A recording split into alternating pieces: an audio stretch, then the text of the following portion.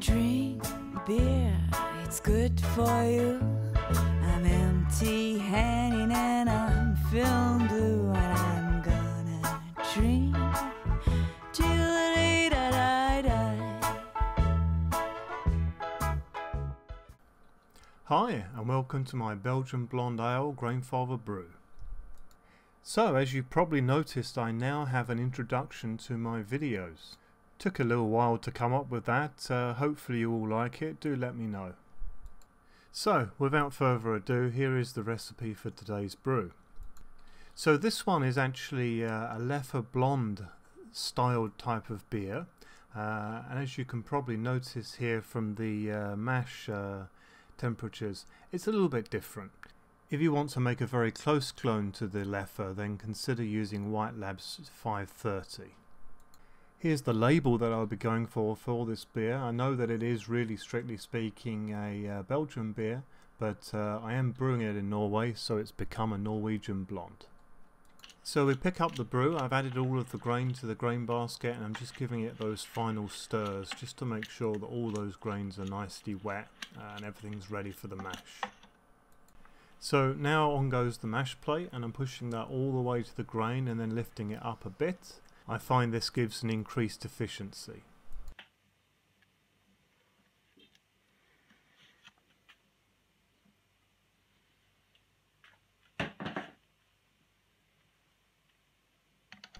Then finally on goes the mash pipe and then my trusty sink strainer which basically keeps loose grain from going back into my wort. Very handy.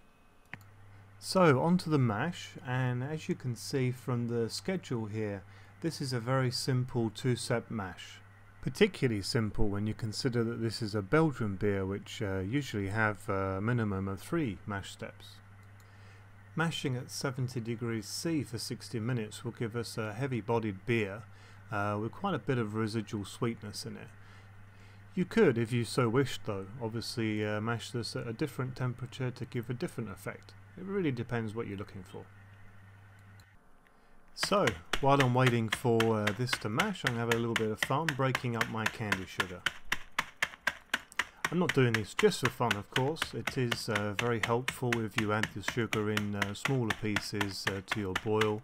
Uh, it will, of course, uh, dissolve down much quicker. Now that's done, I've also prepared my hops and everything else that I need during the boil here. Not that I'll be boiling my yeast here, uh, of course, and here's a closer look at what I'm using here today. So it's now time for the sparge and I'm using a 1 litre jug and the Grainfather version of basically a tea urn um, in order to do this. For those that are interested, here's a quick look at uh, the music for today, Therapy Troublegum, an oldie but a classic.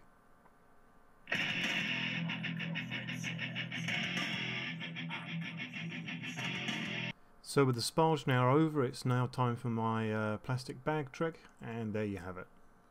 All the grain in the bag, ready for easy disposal.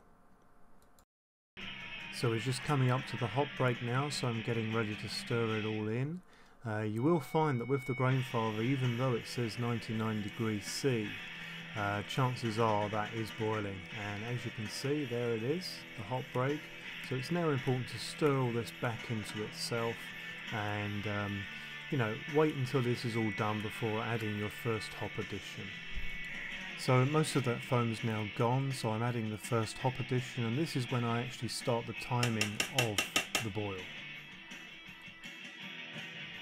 It's important every time that you add an addition during brewing that you then give it a nice stirring.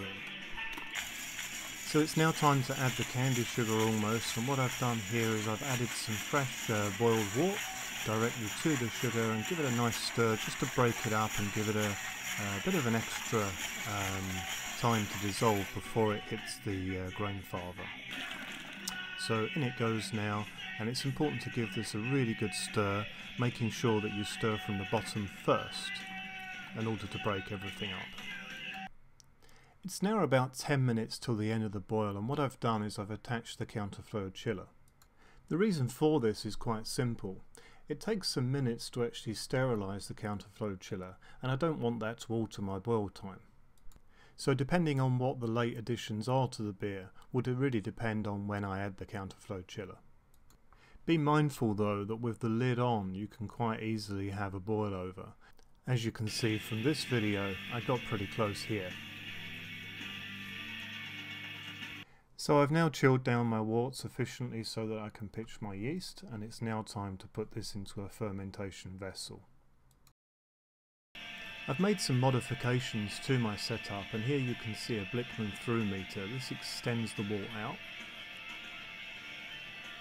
I've obviously got the standard tap fitment there, giving the cold water in and hot water out. And then the next thing is I have a harness that comes directly from the ceiling, which then allows me to hands-free uh, take all of the wort into the fermentation vessel. I find using this wide funnel on top allows me to pitch the yeast without actually having to stop the pump at all. Works really, really nicely.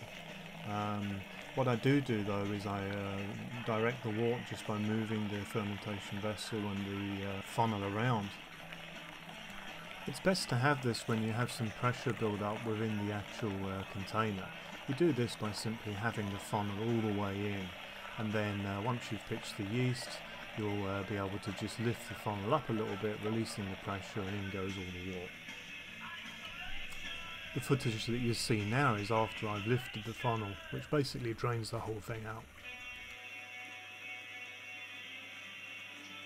I was very happy with the results from this brew day and uh, look at that colour, really really stunning. So I've now got my small batch of beer into this uh, rather large fermentation vessel and it's also got a very large oversized Speidel style airlock.